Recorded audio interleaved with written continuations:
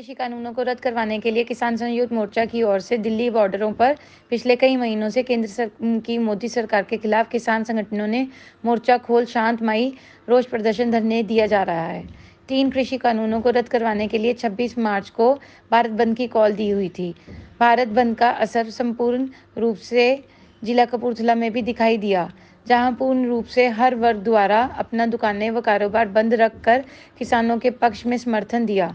वहीं कुछ दुकानदारों ने अपनी दुकानें बंद कर खाली सड़कों पर क्रिकेट खेल खेलते दिखाई दिए। दूसरी ओर, किसान हितैषी कानूनों के किस, किसान मजदूर एकता बैनर के नीचे कपूरथला में केंद्र सरकार के खिलाफ तीन कृषि कानूनों को रद्द करवाने के लिए किसान संयुक्त मोर्चा के पक्ष में शांतिमयी रोष प्रदर्शन किया गया।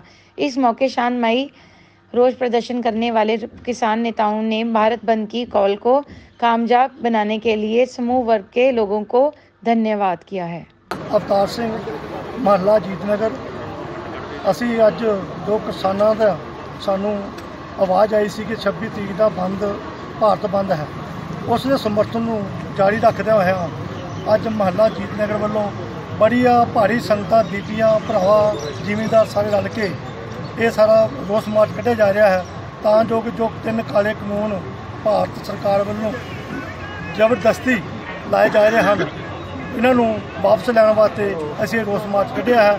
ਅਸੀਂ ਬਹੁਤ ਬਹੁਤ ਧੰਨਵਾਦ ਕਰਦੇ ਹਾਂ ਸਾਰੇ ਦੁਕਾਨਦਾਰਾਂ ਦਾ, ਪੂਰੇ ਕਪੂਰਥਲੇ ਦਾ, ਜਿਨ੍ਹਾਂ ਨੇ ਜ਼ਿਮੀਂਦਾਰਾਂ ਨੂੰ ਸਾਰਿਆਂ ਨੂੰ ਸਮਰਥਨ ਦਿੱਤਾ ਹੈ।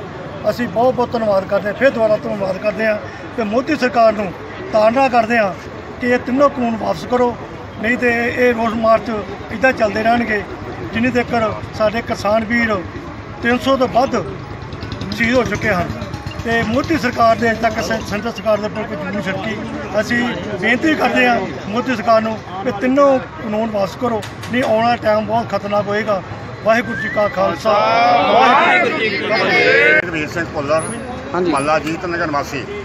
ਅਸੀਂ ਅੱਜ ਮੱਲਾ ਜੀਤ ਨਗਰ ਵੱਲੋਂ ਸਾਰੇ ਮੱਲੋਂ ਸਮੂਹ ਵੱਲੋਂ 26 ਤਰੀਕ ਦੇ ਵਿੱਚ ਜੋ ਅੱਜ ਰੋਸ ਮਾਰਚ ਕੱਢਿਆ ਗਿਆ ਹੈ, ਉਸ ਵਿੱਚ ਅਸੀਂ ਸਾਰੇ ਇਕੱਠੇ ਹੋ ਕੇ, ਪਿੰਡਾਂ ਦੇ ਬੰਦੇ, ਸ਼ਹਿਰਾਂ ਦੇ ਬੰਦੇ, ਸਾਰੇ ਨਿਵਾਸੀ ਇਕੱਠੇ ਹੋ ਕੇ ਰੋਸ ਮਾਰਚ ਸ਼ਾਂਤਮਈ ਕਰ ਰਹੇ ਹਨ। ਜੋ ਕਿ ਮੋਦੀ ਸਰਕਾਰ ਨੇ ਤਿੰਨ ਕਾਲੇ ਕਾਨੂੰਨ ਬਣਾਏ ਹਨ, ਉਹਨੂੰ ਰੱਦ ਕਰਨ ਵਾਸਤੇ। ਕਾਲੇ ਕਾਨੂੰਨ ਸਾਡੇ ਵਾਸਤੇ ਬਹੁਤ ਹੀ ਖਤਰਨਾਕ ਹਨ। ਜ਼ਿਮੀਂਦਾਰ ਚਾਰੇ ਕੀ ਕਰਨਗੇ ਕਾਲੇ ਕਾਨੂੰਨ ਉੱਤੇ, ਬਹੁਤ ਹੀ ਮੁਸ਼ਕਲ ਹੋ ਜਾਏਗਾ ਸਾਰਿਆਂ ਵਾਸਤੇ। ਮੇਰਾ ਜ਼ਿਮੀਂਦਾਰ ਹੀ ਨਹੀਂ, ਸਾਰੇ ਵਰਗੇ ਚ ਪੀਤੇ ਜਾਣਗੇ। ਸਾਰਿਆਂ ਵਾਸਤੇ ਬੜੀ ਮੁਸ਼ਕਲ ਹੋਊਗੀ ਮੋਦੀ ਨੇ ਹਰ ਚੀਜ਼ ਗਹਿਣੇ ਪਾਤੀ ਵੇਚਤੀ ਕੋਈ ਚੀਜ਼ ਛੱਡੀ ਨਹੀਂ। ਹੁਣ ਪੈਲੀਆਂ ਰਹਿ ਗਈਆਂ ਉਹ ਮੋਦੀ ਸਾਹਿਬ ਪੈਲੀਆਂ ਦੇ ਪਿੱਛੇ ਪੈ ਗਏ ਨੇ। ਇਹ? ਹੁਣ ਕੋਠੀਆਂ ਮੰਗਦਾ ਪਿਆ ਏ ਪੈਲੀ ਦੀਆਂ ਰਜਿਸਟਰੀਆਂ ਮੰਗਦਾ ਪਿਆ ਏ ਤਾਂ ਕਿ ਉਹ ਆਦਮੀ ਕਣਕ ਖਰੀਦਣ ਜਿਨ੍ਹਾਂ ਕੋਲ ਪੈਲੀਆਂ ਦੀਆਂ ਰਜਿਸਟਰੀਆਂ ਹਨ ਤੇ ਬਾਕੀ ਮਜ਼ਦੂਰ ਵਿਚਾਰੇ ਕਿੱਥੇ ਜਾਣਗੇ? ਸਾਰੇ ਆਪਾਂ ਬਾਹਰ ਰਹਿੰਦੇ ਹਾਂ ਸਾਡੇ ਪਰਿਵਾਰ ਬਾਹਰ ਰਹਿੰਦੇ ਨੇ ਸਾਡੀਆਂ ਪੈਲੀਆਂ ਮਜ਼ਦੂਰ ਵਾਹੁੰਦੇ ਨੇ। ਅਸੀਂ ਰਜਿਸਟਰੀਆਂ ਕਿੱਥੋਂ ਦੇਈਏ ਉਹਨਾਂ ਨੂੰ? ਕਿੱਥੋਂ ਦੇਈਏ ਉਹਨਾਂ ਨੂੰ?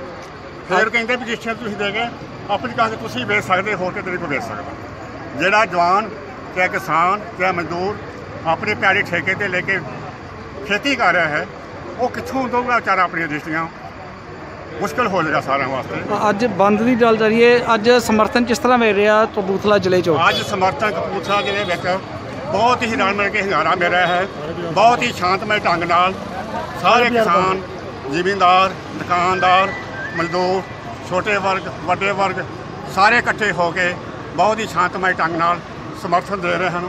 ਇਹ ਸਮਰਥਨ ਬਿਲਕੁਲ ਕਾਮਯਾਬ ਹੋਗਾ ਅਸੀਂ ਕਿਸੇ ਵੀ ਦੇ ਕਦੇ ਖਾਫ ਨਹੀਂ ਹਾਂ। ਅਸੀਂ ਸਿਰਫ ਚਾਹੁੰਦੇ ਹਾਂ ਕਿ ਸਾਡੇ ਜੇ ਕਾਲੇ ਕਾਨੂੰਨ ਲੱਗੇ ਹੋਏ ਨੇ, ਉਹ ਮਾਫ ਕਰਨ। ਸਾਨੂੰ ਬਾਕੀ ਕਿਸੇ ਨਾਲ ਕੋਈ ਮਤਲਬ ਨਹੀਂ ਹੈਗਾ। ਅਸੀਂ ਕਿਸੇ ਵੀ ਪਾਰਟੀ ਨਾਲ ਸੰਬੰਧ ਨਹੀਂ ਰੱਖਦੇ। ਅਸੀਂ ਆਪਣੇ ਕਾਲੇ ਕਾਨੂੰਨ ਖਤਮ ਕਰਵਾਉਣਾ ਚਾਹੁੰਦੇ ਹਾਂ।